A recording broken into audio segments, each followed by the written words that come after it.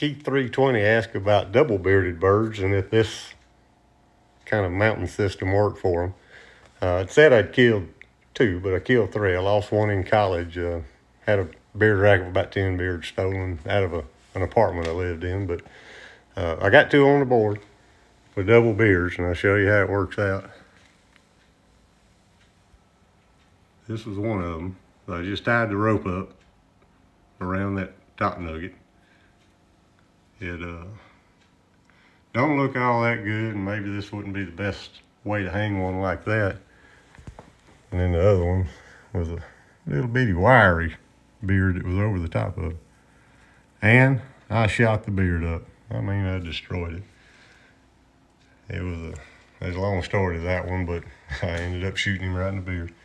Anyway, this may not be the best way to try to hang one out. It's got multiple beards, but uh, you could try it, do that little wrap. Maybe just braid it up and let each new set of hairs poke out.